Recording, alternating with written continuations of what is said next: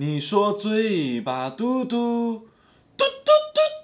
嘟嘟嘟嘟嘟！嘿，各位观众朋友们，大家好，这里是咸宝宝。我们中国人比较喜欢那种薄嘴唇，但是欧美那一块他们更喜欢厚嘴唇，所以他们那边很畅销的一个产品就是丰唇器。这个东西呢，在我们这种厚嘴唇的眼里，简直就是一个噩梦。就是我们的嘴唇本身就已经很厚了，然后厚也就算了，还翘，就特别特别的丑。可是，在欧美人那一块，他们看起来这就是特别好看的一个标准。这个标准什么时候能到中国呀？所以我买了这个丰唇器，我想试试看，我这个嘴唇已经很厚了，那么用了丰唇器之后，能不能用这个厚嘴唇去欧美出道呢？当一个歌手，你说是吧？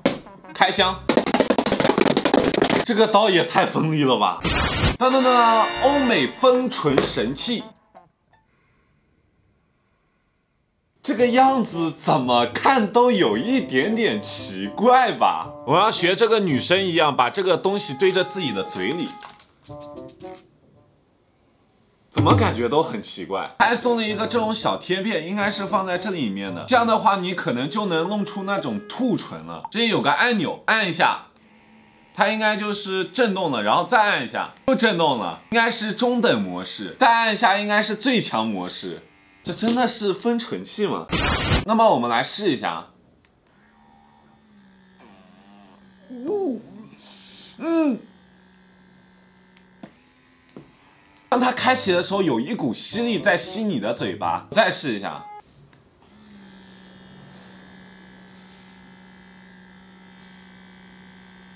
嗯。嗯。嗯。嗯。嗯。这使用的感觉有点像，就是你去体检的时候压你这里，用一个东西把里面空气抽光，然后只不过这次不是手臂，它是嘴巴这一块部分。你们还是不要有其他想法了，这次我们试试最强的难度。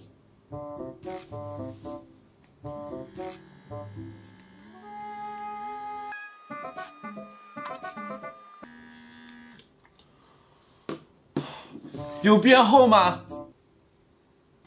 它吸的你嘴唇不由自主的往外翻，你知道吧？这个最强的吸力感觉要把你嘴巴给撕破了一样。建议你们不要有其他的想法。那么我们按照它上面说的试一试呢？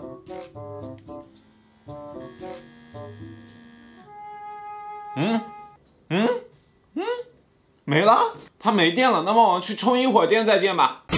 那么我们继续尝试一下吧。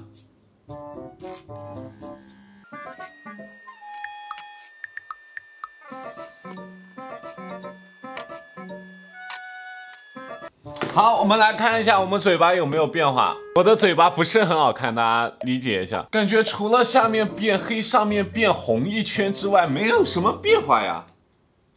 而且我充了两个小时的电，你又没电啦？喂，嘿，嘿，醒醒！它又没电了，我录了五十秒都不到的时间，它又没电了，这很打击我的创作热情啊！即使它很垃圾，我们也要对它负责任。那么我们待会儿再见。Two thousand years later. 录这么一个开箱视频，我没想到录了几个小时。你持久一点啊，不能那么短呢。这次我把那个东西放进这里面了，然后我们再来试试三十秒之后我的嘴唇会怎么样吧。现在先注意我的嘴唇是这样子的，好吧？我知道很丑，但是没有关系。那么，嗯嗯嗯，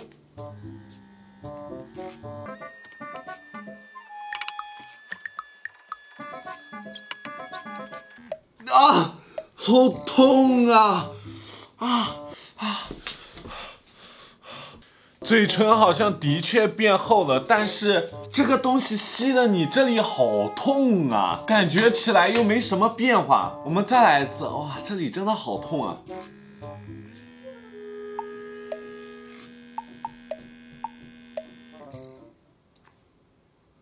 你又没电了。就上面完全就红了嘛。上面说，如果说你是用最轻的话是要三十分钟，绿色的话就是二十分钟，红色的话就十二分钟到十五分钟。如果说十二到十五分钟的话，可能你的嘴唇能像变成欧美那样子的样子，但是你一定会痛死。我不允许开箱我还要失败，所以我准备用最大马力十二到十五分钟来试一试吧。既然它充电速度这么慢，我边充边用，我一定要看看十二分钟以后我的嘴唇到底能变成什么样。嗯嗯，哦，边充边用用不了哎，垃圾。这东西它居然卖一百块，它居然卖一百块钱。那我们就下期视频开头给大家看一下这个嘴唇它的效果是什么样子的，好吧？今天就先给大家带到这里了。我是鲜宝宝，如果喜欢鲜宝宝视频的话，点个投币，点个收藏，点个订阅都是可以的，因为你这小小的订阅对我是很大的帮助，好吧？我们下期视频再见，谢谢各位。